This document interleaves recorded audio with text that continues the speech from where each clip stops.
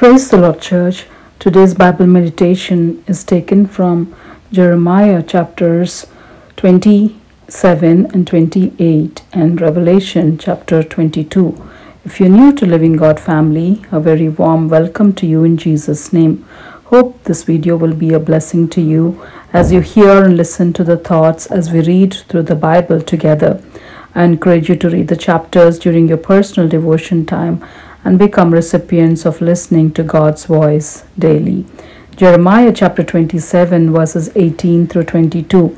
But if they are prophets, and if the word of the Lord is with them, let them now make intercession to the Lord of hosts, that the vessels which are left in the house of the Lord, in the house of the king of Judah, and at Jerusalem do not go to Babylon.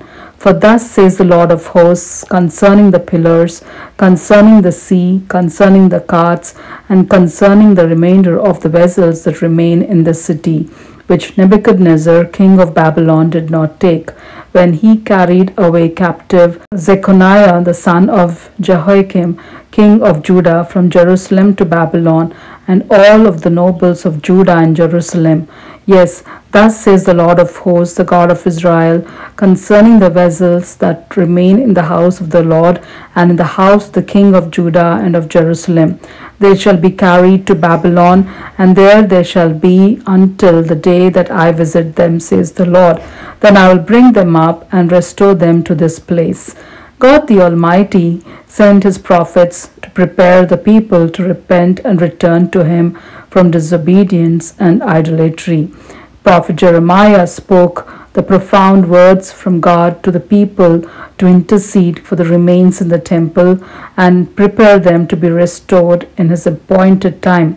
And God did restore in his time through the remnants to fulfill his redemptive plan. Yes, intercession is a must for every believer for the remnant to be brought back from Babylon to Jerusalem for restoration for God's people. Today, intercession is a must for body of believers to participate so that people's heart will be transformed refreshing times will come as people will come into the saving knowledge of Christ and thirsty hearts will be quenched from the river of life that is Jesus Christ to be with him for eternity in the New Jerusalem. May we stand in the gap, intercede for the lost to be found, spiritually dead to be awakened, and all our beings to be thirsty for the Lord, the bright morning star, the offspring of David, the Holy One, our Lord and Savior, Jesus Christ. As we read in Revelation chapter 22, verses 16 and 17. I, Jesus, have sent my angel to testify to you these things in the churches. I am the root and the offspring of David, the bright and morning star, and the Spirit and the bride say, Come, and let him who hears say, Come, and let him who thirsts come.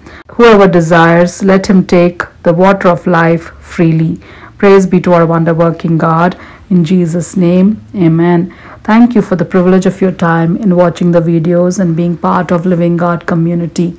God bless you all abundantly as we are all created to be holy and happy in Christ Jesus. Amen.